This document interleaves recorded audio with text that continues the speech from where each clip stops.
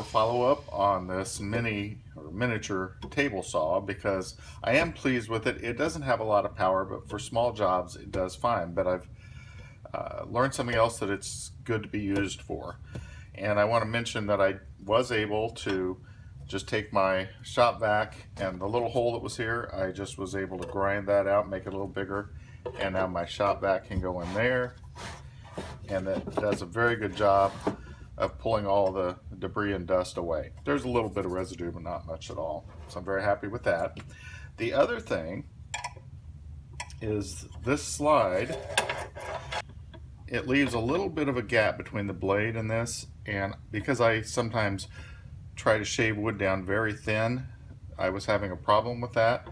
So I just took a couple pieces of scrap and made this and you can see that goes right along the edge of the blade so I can get thinner cuts and, and not worry about it getting sucked down into the saw itself. But the new thing that I wanted to mention, and I'd said before I thought I would never use this, but I make model ships and I need to taper dowel rods down to make masts and I've used different things at different times. The additional use of the drill bit chuck is to taper masts for model shipbuilding. So that's what I use most of this equipment for anyway. And so I have this oak dowel rod and it needs to taper down so that this will fit on there. So I've got quite a bit of tapering to do. Let me dismantle this. It's just a matter of getting this placed in there gently but firmly.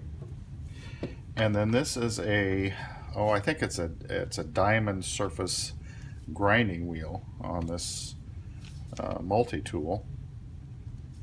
And what I'll do is I'll place it on here and gently pull it towards me. You want to make sure that your saw blade, number one, is as low as possible so there's no risk of getting cut there.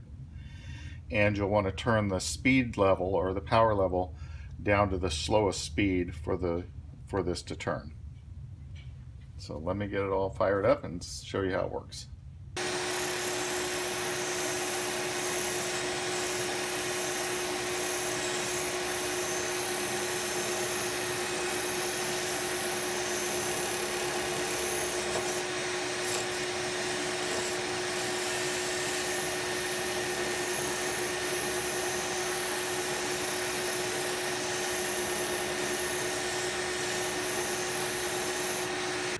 Then from time to time, you'll just want to check and make sure. See how close you're getting? That's almost done already. Just need a little bit more off.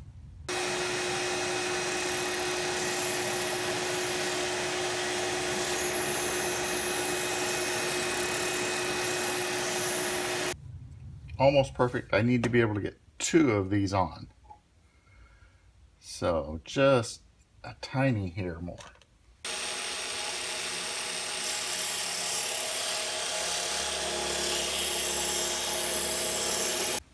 Perfect.